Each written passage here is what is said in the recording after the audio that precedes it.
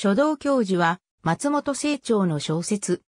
週刊朝日1969年12月19日号から1970年3月27日号に黒の図説第4話として連載され、1970年4月に中編集、王外の女収録の一作として、公文社から刊行された。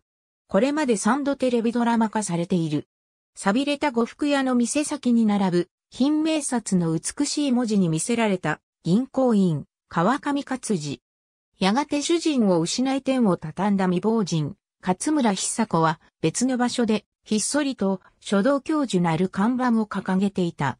ホステス、神谷文子との関係で悩んでいた川上は、その書道教室に通い始めるのだが、松本清張の書道教授、消えた死体。